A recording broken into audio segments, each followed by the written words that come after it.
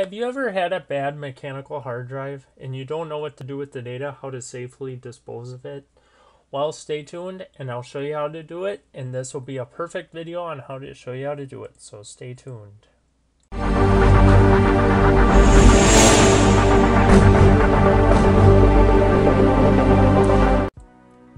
Alright, so Alright, so you have a let's per se you have a bad mechanical hard drive. And you backed up all your data and there's stuff on there that you don't want people to creep on because you're about to dispose of the drive. Well, fortunately there is a way to erase it safely. Uh, the program I like to use is called Active KillDisk. I will leave the link in the description. But this is the one I like to use. There's plenty of other softwares out there, but the one I like to use is called Active KillDisk. And I'll show you how to use this. If you get a prompt, just say yes.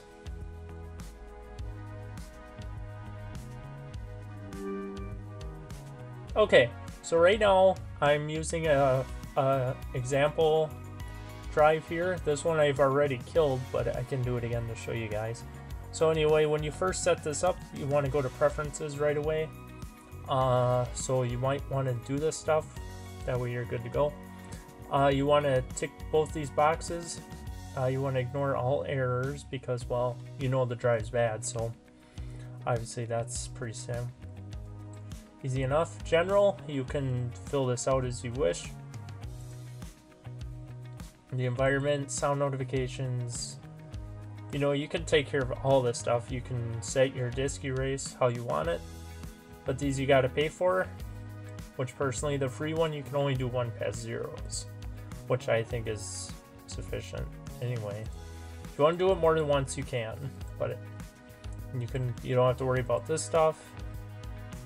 So yeah, it's just for error handling, just tell it to ignore your errors because you know it's a bad drive.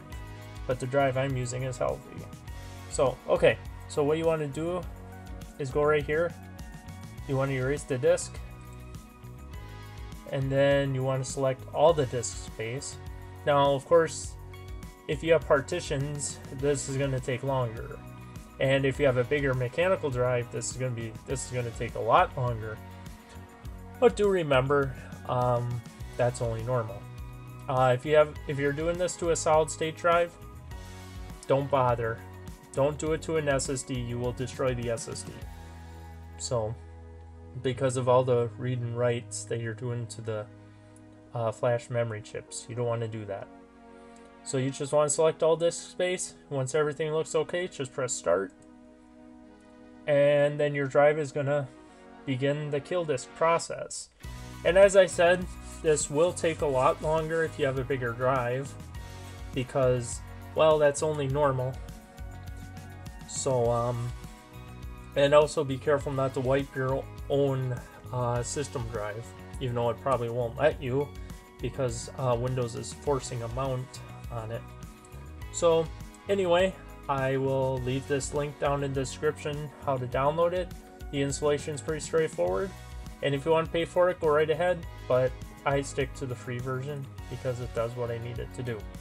So, I hope this tutorial helped you guys, and if it did, smack that thumbs up button and give me a comment below, and we'll talk to you all in, uh, let's see April. It's crazy to think that we're going into April already. Alright guys, we'll see you all in April. Bye for now. Alright guys, as you can see the drive, well I want to add this in. As you can see the drive is 8% wiped and I still have 56 minutes to go.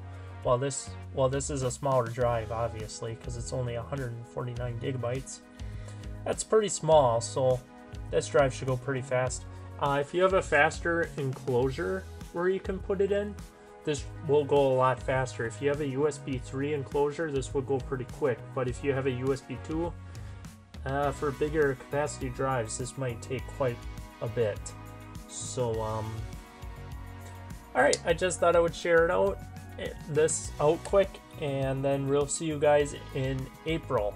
And uh, don't worry, April will be a monthly upload, but starting in May, we'll be posting twice a month instead of just once because that way it can keep up with you guys. And then we might I don't know for sure if we're gonna do it, but we might do that into the fall. So, I guess I guess I guess that's all I gotta say. So, if you guys like this tutorial, like I said, smack that thumbs up button, subscribe if you haven't, and we'll talk to you all then. And we'll see you all later. Bye for now.